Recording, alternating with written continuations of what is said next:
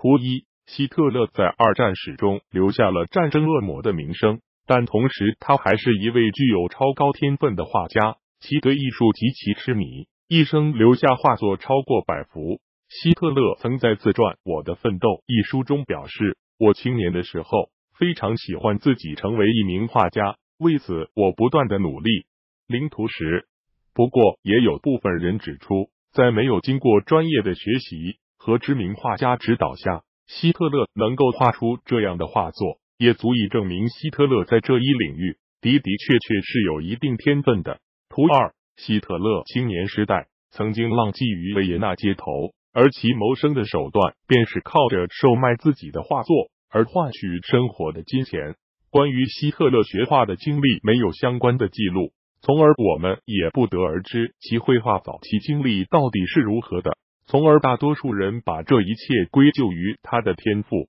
图三，希特勒早年浪迹维也纳街头，成为了一个流浪画师。其后为了成为一名真正的画家，他报考了维也纳美术学院。可在考试中，考官以希特勒在建筑方面具有极高的天赋为理由，拒绝了希特勒的希特勒的入读请求。并劝说他报考建筑学院，但由于包括建筑学院需要重读高中，为此希特勒放弃了成为一名建筑师的机会。图四，也正是因为没有能够考入维也纳艺术学院，从而希特勒只能继续浪迹于维也纳街头，继续以售卖自己的画作而生存。之后，在第一次世界大战来临后，其入伍成为了一名奥地利军队中的士兵，并开始了他的军政生涯。图五，希特勒一直都标榜自己是一名艺术家，一直到他成为德国元首的时候，他的心中都居住一个艺术巨人。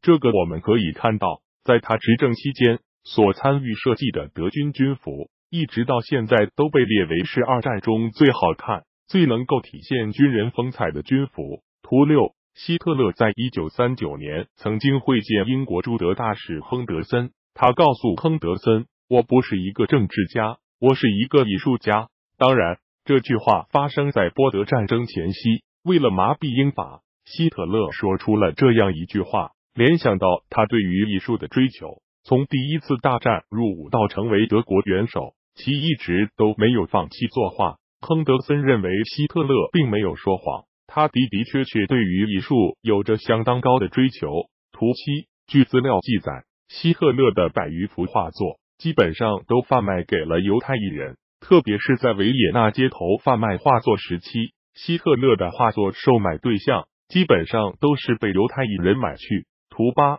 希特勒如今的画作，除了一部分在二战结束后被拍卖，另外一部分则在二战结束时被美国军方缴获，从而流入美国，被美国政府所收藏。在拍卖的画作中，曾经创下过单幅成交价为约八万美元。折合人民约为五十万。图九，关于希特勒画的价值，很多人认为是因为他自身的知名度所带来的，并且在传统的书画界，认为希特勒的画作笔法相当拙劣，根本不能称之为好的作品。